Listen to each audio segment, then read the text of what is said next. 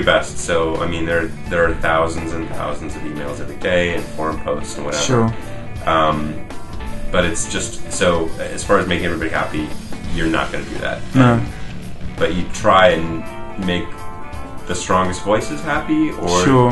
The voices you can at least make it. So some some people are asking for things that are more possible. Yeah, that's what I Um, find. Yeah, so I sorry. try and do things like that, or things that are more sane. You do what you can, um, Mm. but uh, basically the, the marching orders, as far as uh, as far as I think about it, and the people that work for and with me, uh, is just think about it as if. I mean, I think about it exactly as I thought about it before I worked here, which is if I knew there was somebody working at the company who was Yeah. supposed to listen to me, what would I want them to do? Sure. and what would I reasonably expect them to do? So Yeah. there are some things that I would want them to do, but are probably a little crazy and might Mm. be beyond reasonable expectation.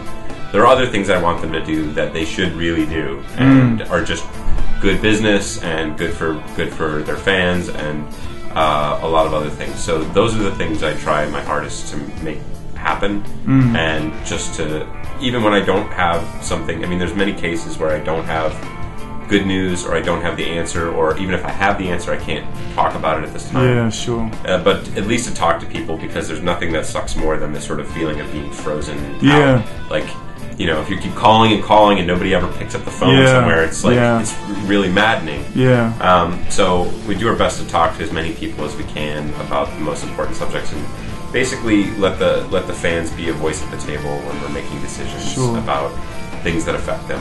Yeah, Um, like characters at the moment as well. yeah, Sure. for instance. So Yeah. uh, it's a, it's a it's a change for Capcom as a company. Japanese companies have typically been very sort of we will have we will do this and then we will tell you about it. Yeah, That's yeah. the end of the relationship. Thank Yeah. Mm. you. Please give us your money and exit through the left. And it's funny because Ono is such a, a wild exception to that rule, right? You It's it's new Yeah. though. I mean, that's even for Ono. I don't think we've really seen the side of Ono before the Street Fighter 4 era. Yeah, yeah. I mean, he Because he has changed a lot. Like, I mean. Just from watching interviews and stuff. We're talking about you behind your back, Ono. Sorry, but like, um, when you saw Ono at Evo, he was he was really emotionally hit. He was like, "This is what happens when we make these games." yeah. Yeah. Yeah, it's been uh, you know that's been part of my my mission also is to get our producers out to as many live events as they can, to Sure. be talking on live streams, and just because I know the power of the fans, it's really gratifying to see them excited about Yeah. something that you're doing, and I think that kind of enthusiasm is infectious. So if you can show the producers that. Look, there are all these people who care a lot about your product, so it's important to you, but it's also really important to them. Um, I think that can develop a really good relationship and see more of the producers getting out there and involved with the fans and responsive to their concerns. What are your thoughts on people keeping the um, the community alive during those dark times, like when when what what was tiding us over was anniversary edition? You know what I mean?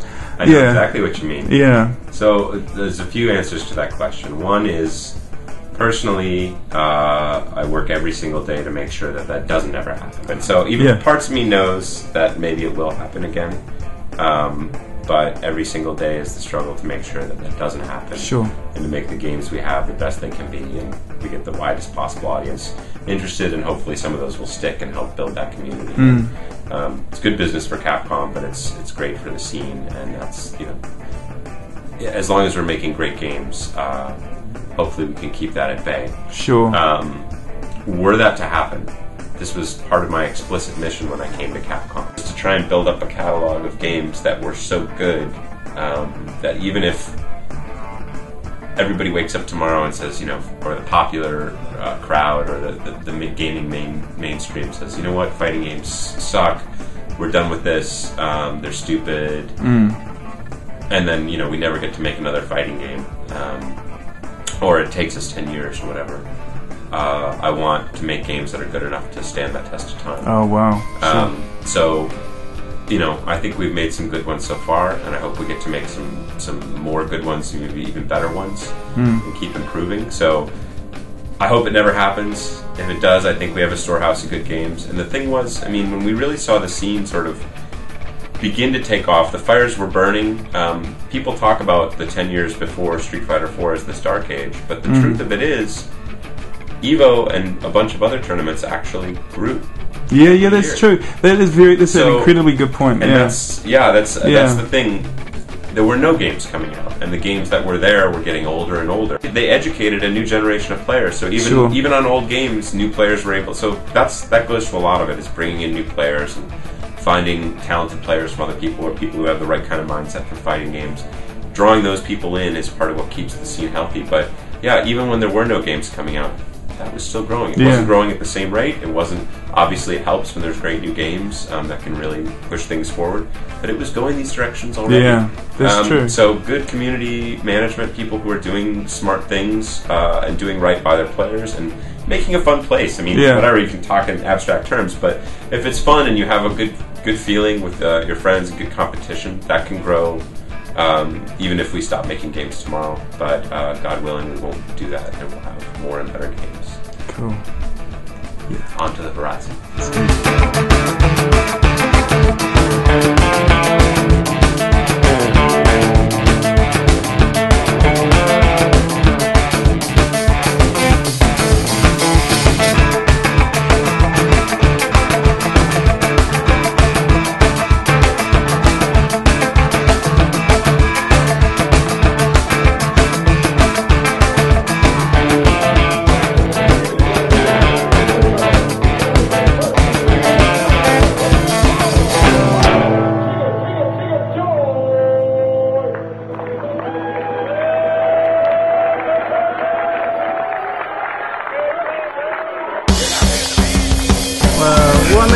Had the thought that you know it was going to phase out because all the signs were there, all the arcades were dying. Sure. Um, hot fighting games just weren't being produced by the companies anymore. So um, I mean, everybody's kind of probably had that down in the back of their mind. But yeah, Street Fighter 4 really changed everything. They went back to their roots, brought the community back together. So and now fighting games are back in a huge way, and I'm really really glad to see that. Yeah, I, I wouldn't have thought of this just like a few years ago. Sure. So yeah, it was. I mean, big change to the entire scene. Uh, well, I definitely remember from like playing early on, like when like, like when I was little, like I said. Yeah, sure, I remember sure. like I would have to like wait in line in the arcades for like an hour, sometimes two hours to get like one game. in. But but I wasn't really competitive back then, so I mean, but like coming coming to now, like when you play a game like CVS2 Third Strike, you don't have to wait like two three people online. so it was very different. So like there, were- you could- you could tell it was dying down, but I actually had kind of like faith that Capcom would bring a new game out because I mean even though the arcade scene was dying, I mean there was always console, and I felt like there was always some kind of like future for the console. Yeah, I, I just I, I just wasn't totally sure, but I didn't think it would ever die out, and I I, I wasn't know if it was gonna be a Street Fighter 4. I was gonna be like some new kind of fighting game that they created, but I Yeah, always thought something would. too. Yeah, I always think something. I always thought something was gonna come out. Yeah. At first, I was actually it looked really nice, but I was kind of turned off by it because I mean, I know they tried to attempt to do like a 3D-ish game before, like Yeah. like Street Fighter EX is 2D but 3D, and that kind of didn't do so well. And they had they had that Capcom Fighting Fighting Jam, which was at first a 3D fighting game, but they canned it. Yeah, so yeah, right, yeah. So I was kind of like skeptical. I was like, well, it might not do good, but it might do good. But then when I actually finally got to play it, I was like, I didn't like it at first, but it just kind of grows on you. Like, Yeah. yeah, it, became, it started becoming like a really fun game, and then like it just made it seem like gigantic. So I mean, Sure. yeah. Yeah. So the more people to play, the better. Um, Seth was very instrumental in getting the play um, to feel like the old Street Fighter games. The the early versions was pretty bad, and it took a lot of polishing up. But the finished version was a thousand times better. Um, and even the finished version, I didn't really like it at first. Um, I didn't really like the feel of it, but like Ricky said, it kind of grows on you. And I'm really glad he brought the community back. And currently today, it's still not one of my favorite Street Fighters, but I mean, what choice do you have? like, if I it, and then yeah, I mean, the fun factor is kind of high, um, and they made it really easy and kind of evened out the playing field. So it's, it's a different kind of Street Fighter. And what were you guys playing? Mean, like you were playing Third Strike, right? I was playing Third Strike and Tekken Tag back then. Oh, nice. And I, I, I mainly knew him from, from Third Strike because he would come to the arcade that I play at maybe like once every like every like, like Oh, three wow. months maybe. And I remember him because he used to be really good and I could never beat him back then. And I knew him as the guy who I couldn't beat, so I always beat him when I played him. But I could never beat him. But but when you were in the arcade, did you did you know of John? Like, like when John walked in, you're like, oh my god, it's like John Choi. No, no, I didn't know who he was. Oh, I just, wow. I just knew he was a really good. This player. is a real good guy, but I don't know who he is. I wasn't like I wasn't into the scene really back then. I just I just played with like a bunch of my friends at the arcade, like after school or like even during school, like class and stuff to go play. Ricky was like 13 years old. Yeah. I was little- Oh my God. kid. He was a little kid. How did you find out like he's one of the the, the, the old the old the old order Oh, of Street uh, Fighter? You Some know? of my friends actually knew who he was, and then actually af- after I heard his name, there's actually a magazine, a video game magazine called Tips and Tricks, Oh, and um, they used to post um, tournament results, and he used to have like a top ten players kind of thing in there, and John Choi was in there, and he was number one. oh, and you were That, like, that's how I was like, oh, like oh, this guy's like the best player in the U.S. at the time. I was like, oh, I wonder why I want to see this guy. He's like really good. oh, Yeah, so uh, playing him back then like was like a little nerve wracking. like so little and so young playing against this like big dog, you know. And I was like, no, I want to be good too, so I want to beat this guy. But at the time, I had like much experience, and that guy was I was no chance against him. But how did you know about Street Fighter? Like, did you play it on Super Nintendo and then go, let's just check out this I, I arcade? played on like uh, on a Super Nintendo, but I mainly know about it because my dad, because my dad used to go play with my cousin when I. Oh, for real? That is Yeah. awesome. That's such a cool story. Yeah, so Yeah, I yeah. knew about it from then, but then I was at at that time I was like too little to like even like comprehend the game, so he would never take me with him. But Yeah, as yeah. I got a little bit older, then he started taking me to arcade and like he taught me how to play Street Fighter. So he like trained you, like Yeah. by your father. Yeah, he, he taught me how to play when I was little. Did you guys ever actually play mini golf here ever? yes, I've actually played mini golf here, mostly with my various girlfriends. so they'd come and meet you here because you said, "Hey, let's play, No. let's let's play, um, let's play some mini golf," and really you'd be in here like playing, and you just finish, and you go, "Oh, no, no, I just really know this really good mini golf course." yeah, I mean, I've probably been to golf at like thousands and thousands of times. and I played mini golf maybe, maybe like 10, 20 times total. Oh, wow. like- Yeah, not a lot. Uh, I first came here during, I guess, World Warrior days. Wow. Yeah, and I remember it was actually lined up against the wall here. And then this was kind of like the fighting corner, that- and then Champion Edition, Hyper Fighting, and then it kind of spread to the middle area because they used to host a lot of tournaments and they wanted it near the counter. And how many people would you get um, at a tournament during the World Warrior days? Um, they used to have weekly tournaments and know anywhere between like 30 and 40 people. Wow. This is like the machine where me and like Ian played. It, it used to be like right here in this corner. So that was many years ago. That was the very first tournament that the Cannons and a couple other people kind of organized, and then that kind of just eventually morphed into Evolution today.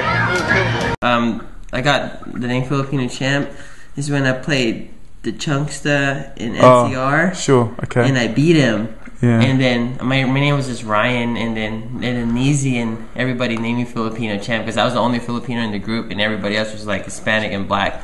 cool. So like- and then I was the first guy to beat Chunksta. You know, after he got second in Evo, was just like, oh my god. so you're the magic Filipino. minority in the group. You're Yeah, like, yeah. that's why they call me Filipino champ. But Oh. yeah.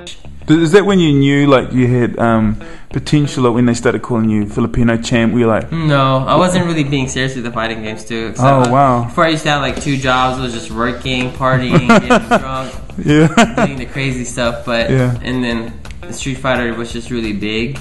Has Street Fighter like reined you in from your partying, or has it made it worse? Like, do you go to more parties now? Now that you no, know you're less now. Yeah. You know, like maybe I got older, so that's probably why. sure. But Yeah. before I used to party and drink a lot, and then it was really bad. It got to the point that I was always drunk, and Oh, man. I became a bum. Like I'm always like. Um, Yeah, is, is- it like a day. rag to riches story? Like I was drunk and stuff, and then Street Fighter came along. The Street. Fighter came yeah, along, like saved my life. And then I started like I started like Sure. playing more and Yeah, just like hang and doing the right stuff. I think so. Like Mm. working, just playing, you know. cool, cool. But they, they got laid off, so I guess I'm mostly just playing Street Fighter for Marvel. I don't really go to forums like about Dhalsim. I really yeah. don't go there Sure. because they're just a bunch of idiots. I go there once in a while to, to tell them what's up about AE. Hey, I uh, discovered something about Dhalsim. and Just to help out a bit, yeah. Yeah, but I don't really listen to them because all they do there is whine about matchups, Mm. and then they just they just start you know they just keep on whining about the match instead of like doing something about it. Yeah. They just keep telling like, dude, this is hopeless. Uh, this is another impossible matchup. You Uh. know, they just never try to actually try like they just end up counter picking, picking Yeah. character in like a seven three match. But I try my, my hardest to just keep playing this my character, Mm. even though the matchup is totally not in my favor. You know, because I'm not really talented with with, with I mean with gaming in general, like Street Fighter in general. So Mm. I can't play a lot of characters like that. You know, I have to just always play my character so I get the feel of the game. I feel like when I stop playing, like if I when I play Marvel Yeah. and I play Street Fighter, I lose the feel of the game and I lose all my reactions. So I just need to constantly be playing my character. Sure, and just sticking with what you know. Yeah. Your confidence, do you think that's a big, big part of, um, you know, you not Yeah. being scared that, that helps you win? Because yeah, because if I'm confident, I don't hold back on my game. Yeah. Because I feel like if I give the person like so much, to, I mean too much respect, it Yeah. affects my gameplay overall. Like I get too scared, I sort of backdash more or jump back more Mm. to the corner. So if I'm confident leading into the match, that means I will stand on my ground and try to fight him out of it. Cool. So it really affects my overall game. That's why I have to be confident. Sure, sure. And is that something you um, you learned that you needed for Street Fighter, or is that just your personality that you brought to the game? Um, you know, the people that actually know me, like like in a personal level, I'm Yeah. not really like that. You know, like I'm, I'm actually nice. Like, like Yeah, I, yeah. have, I have to you seem have like that. a nice guy. I have to. I, I have to have that image because it helps my game overall. Like you know, like everybody has that. Um, that the wrestling face almost. yeah, yeah, yeah. And then you yeah, have yeah. that tournament face, or you have that tournament mentality, like, yo, I'm gonna win this shit, you know? Yeah, It's yeah, kinda yeah. Like, I, I kind of need that, but in in a day to day life, I don't have, I'm not like that, you know? it's hard, you know? Like, but but I like it when people hate on me, like, because it just fuels my, Fuels the fire. it just fuels me, like, to do better. Yeah. Because they could hate me all day, but you know, if I keep winning, they can't do shit. About Yeah, it, yeah. You know? Yeah. So like when the people like that just normally bashes me over and over again online, you know, mm. they can only say like they could just only go to personal. But they're just like, oh, this nigga sucks, really, you know. But it's okay because I keep winning. So as long as I keep on winning, they can't really say much. Yeah, exactly. And I mean, and I mean, it's not like um, any of these guys have played you online or or have met you in real life. If you met me in real life, I- I'm pretty sure they will change their opinion about me. Sure, sure. Yeah, because I'm not really like that, you know. If they meet me on a personal level outside of a tournament, then I'm pretty sure they'll. Cause I, there's like I, um, there was like a a big group of haters, Mm. but what happened? I met them and right now we're actually friends, you know. cool, yeah, cool, cool, yeah. I'm trying to learn other characters. cool. And why just for fun or for match-up purposes? No, just for fun. Cool, cool. I don't like the counters from tournament. I like to play Dhalsim. yeah. But Ricky plays a lot of characters, and it gets boring. Like I only play Dhalsim, so Mm. I try to learn other characters. That's cool. So you can kind of know, the character inside and out, right? Mm, true. Yeah. Cool, cool. You and Ricky play each other all the time. Like, Yeah. I mean, are there times where you guys just completely surprise each other? Like, you go, "Oh my god!" Like, No, Does like, it- no, does we it happen played, much? We played at maybe like maybe ten thousand games already. Just like whatever. like yeah, sure, sure. But it's fun though when we play because it's always um, shit and giggles. Like we always Yeah. laugh. Like when he catches me with some stupid shit, and it's Yeah. like fun. You know, it's really fun to play with them. When you're playing with top le- level talent, Yeah, it's I mean, really fun. It's yeah. real fun because I mean, like the mind games is there, and it's Yeah. really fun. Sure, sure, sure, cool.